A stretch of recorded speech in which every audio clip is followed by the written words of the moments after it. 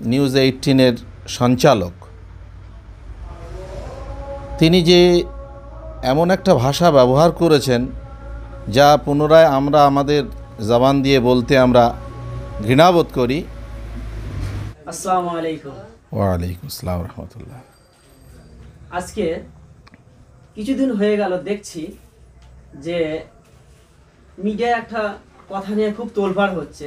সেটা হলো যে নিউজ এইটিন বলে একটা টিভি চ্যানেল গদি মিডিয়া তিনি আমাদের খাজা বাবা তাকে নিয়ে উনি লোটেরাও বলেছে। সেই বিষয়ে আপনার কি মতামত? হ্যাঁ আমিও বিভিন্ন চ্যানেলে বিষয়টা দেখেছি। প্রথমেই বলতে হয়, যারা মিডিয়ার কাজ করে, সাংবাদিকতার কাজ করে প্রথম তাদের দায়িত্ব হলো নিরপেক্ষতা এবং সত্য সংবাদ পরিবেশন করা। এটা হলো তাদের নৈতিক দায়িত্ব এবং কর্তব্য।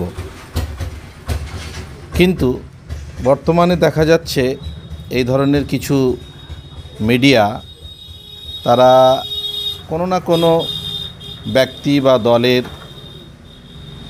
শরণাপন্ন হয়ে একটা সম্প্রদায়কে একটা জাতিকে, একটা গোষ্ঠীকে, তারা সর্বসময় বলির পাঁঠা করার ষড়যন্ত্রে ব্যস্ত হয়ে পড়েছে। তো এ বিষয়ে বহু মানুষ কথা বলছেন, সুধীজন যারা আছে, দেশপ্রেমিক যারা আছে, সভ্য মানুষ যারা আছে, শিক্ষিত মানুষ যারা আছে, তারা সে বিষয়ে প্রতিবাদও করছেন। তাদেরকেও আমরা ধন্যবাদ জানাই যে এখনও সমস্ত মানুষ বেঈমান হয়ে যায়নি, দেশদ্রোহী হয়ে যায়নি। আসলে এরা দেশের শত্রু। এরা দেশের আবর্জনা বললেও ভুল হয় না। তো এই অমিশ দেবগান নিউজ এইটিনের সঞ্চালক। তিনি যে এমন একটা ভাষা ব্যবহার করেছেন, যা পুনরায় আমরা আমাদের জবান দিয়ে বলতে আমরা ঘৃণাবোধ করি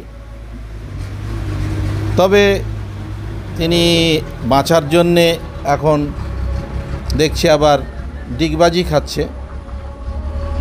বিভিন্ন কথা বলতে চাইছে, যে আমি ওভাবে বলতে চাইনি। তাহলে আমরা বুঝতে পারছি এগুলো তাহলে কেন ওই চ্যানেলে বসে একজন সঞ্চালক হয়ে এই ভাষাটা কীভাবে তিনি ইউজ করলেন? তাহলে বলতে পারি আমরা যে তিনি ভাইরাল হওয়ার জন্যে। তার চ্যানেলকে ভাইরাল করার জন্য তিনি তার পরিচিতিকে সমাজের বুকে আরও বেশি করে তুলে ধরার জন্য এই হিন্দুস্থানের বাদশাহ, তিনি হচ্ছেন হিন্দুস্থান হিন্দুস্থানের বাদশাহ হজরত খাজা গরিবে নওয়াজ মাইন উদ্দিন চিশতি আজমিরি সঞ্জারি রহমতুল্লাহ আলহে আজকে দেখা যাবে যে কোনো চ্যানেল খুললে পাবেন সমস্ত রাজনৈতিক, অরাজনৈতিক, জাতি, ধর্ম, বর্ণ নির্বিশেষে সর্বস্তরের মানুষ, সকল সম্প্রদায়ের মানুষ খাজা সাহেব হুজুরের দরবারে যান। তবে জানি না সেটা তাদের নিজস্ব ব্যক্তিগত স্বার্থ সিদ্ধির জন্য কি না তবে আমরা দেখেছি ইতিপূর্বে এবং আজমির শরীফে গেলে এখনও দেখা যাবে তারাগার পাহাড়ের উপরে যে পানির ব্যবস্থা করে দিয়েছেন, যেখানে খুবই পানি সংকট ছিল এবং পানির খুবই অভাব ছিল, যার কারণে কংগ্রেস সরকারের একজন প্রভাবশালী প্রথিতযশা নেতা ইন্দিরা গান্ধী, মাননীয়া ইন্দিরা গান্ধী মহাশয়া, তিনি এই পানির ব্যবস্থা করে দিয়েছিলেন মানুষের জায়েরিনদের সুবিধার্থে।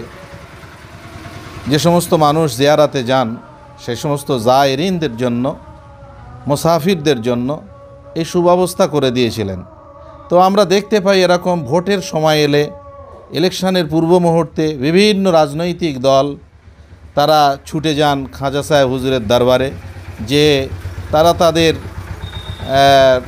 নিয়ম নীতি মতা অনুসারে সেখানে সেই সমস্ত কাজ কার্যাদি সেরে এবং খুব ঢাক ঢোল পিটিয়ে বিভিন্ন সংবাদ মাধ্যম থেকে শুরু করে টিভি চ্যানেলকে সঙ্গে নিয়ে তারা তাদের সেই খাজা সাহেবের দরবারে আমি এসেছি, খাজা সাহেবের দরবারে আমি এসে ভিক্ষা মাংছি, খাজা সাহেবের দরবারে এসে আমি, এই দেখো, আমার কাছে কোনো জাতপাত নেই, আমার কাছে হিন্দু মুসলিম বলে কথা নেই।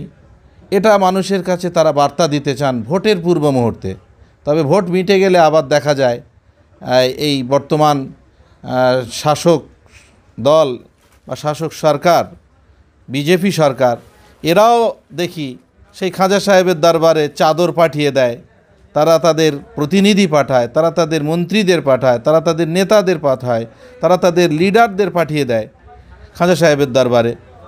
তো আর সেই সমস্ত ব্যক্তিরা কি করে নির্লজ্জ, বেহায়ার মতো এই সমস্ত ভাষাগুলো ব্যবহার করে খাজা সাহেব হুজুরের শানে আমরা বুঝতে পারি না।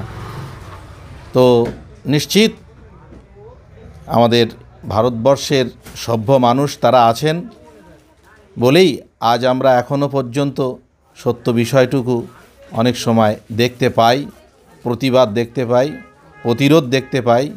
অন্যায়ের বিরুদ্ধে গর্জে ওঠা মানুষ এখনও আছে।